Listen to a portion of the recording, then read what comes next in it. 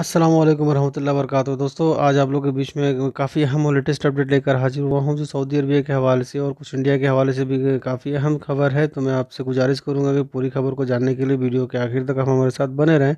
और अगर अभी तक आपने हमारे चैनल को सब्सक्राइब नहीं किया तो प्लीज़ आप हमारे चैनल को सब्सक्राइब कर लें, लाइक करें, कॉमेंट करें, अपने दोस्तों के बीच में शेयर करें। और दोस्तों, खबर पर आगे बढ़ते हुए मैं आप लोगों को बता दूँ कि आज छः जनवरी 2022 में सऊदी अरब में जो कोरोना के नए केस आए हैं, तीन हज़ार दो सौ साठ। न्यू रिकवर केस हुआ है, तीन हज़ार आठ सौ अठहत्तर, जो क्रिटिकल केस बना हुआ है एक हज़ार सतासी एक लोगों की मौत हुई है। अगर वहीं इंडिया की बात करें तो इंडिया में आज पिछले चौबीस घंटे में वन पॉइंट सेवन लाख नए केस पाए गए हैं और आठ सौ पैंसठ लोगों की मौत हुई है। और दोस्तों, मैं आज की काफ़ी अहम खबर आप लोगों को बता दूँ, जो जी की तरफ़ से नया सर्कुलर जारी किया गया और उसमें ये कहा गया है कि इससे पहले जब लोग सफ़र करते थे सॉरी सऊदी अरब के लिए, चाहे वो इंडिया के हों या पाकिस्तान के हों या बांग्लादेश या नेपाल कहीं के भी, जब वो सऊदी अरब का सफ़र करते थे तो जो आप पी का जो टाइमिंग दिया गया था बहत्तर घंटे के अंदर अंदर का। लेकिन अब GACA ने नया सर्कुलर जारी करते हुए इसमें कहा है कि अब जो लोग भी सफ़र करेंगे सऊदी अरब का, चाहे वो इंडिया से आ रहे हैं पाकिस्तान से आ रहे हैं, बांग्लादेश या नेपाल से आ रहे हैं।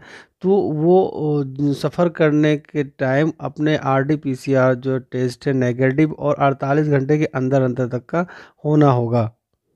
जब आ, अब आप जब सफ़र करेंगे सऊदी अरब के लिए और जब आप आ रहे हैं सऊदी अरब तो आपका जो पीसीआर टेस्ट होगा वो अड़तालीस घंटे के अंदर अंदर का होना होगा। और दोस्तों मैं अपनी अगली खबर बता दूँ जो सऊदी में हुंडी के कारोबार करने वाले तीन गैर मुल्की लोगों को गिरफ़्तार किया गया है।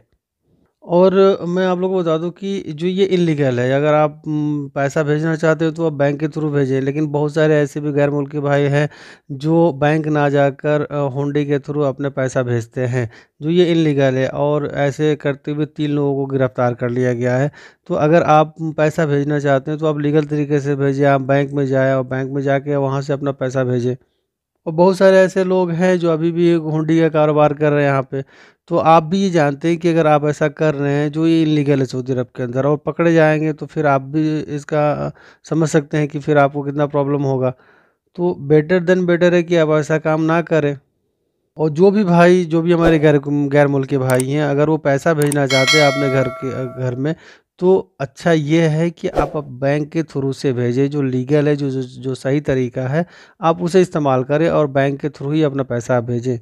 और दोस्तों एक बात और आप लोगों को बता दूँ कि बहुत सारे ऐसे भी हमारे गैर मुल्की भाई लोग हैं यहाँ पे जिनका ये कहना होता है कि हमारे कफिल ने हमारे ऊपर हुरूप लगा दिया पासपोर्ट भी उनके पास है अकामा भी उनके पास है और हमारा फाइनल एग्जिट भी नहीं लगा रहा है कफिल छुट्टी भी नहीं लगा रहा है।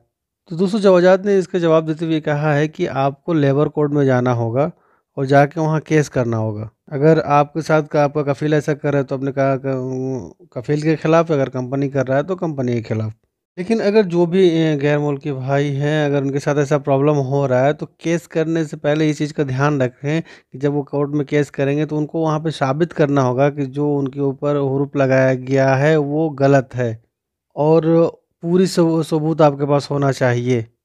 और दोस्तों मैं आप लोग ये बता दूँ कि अगर आप ये चीज़ को प्रूफ कर देते हैं, यानी साबित कर देते हैं कि आपके ऊपर जो हरूप लगाया गया है, वो गलत तरीके से लगाया गया वो गलत है, इसमें आपकी किसी भी तरह कोई भी गलती नहीं है तो इसको देखते हुए, ऐसी सूरत में जो लेबर कोर्ट है, आपको फाइनल एग्ज़िट भी लगाएगा और आपका अकामा भी एक्सटेंड करके देगा।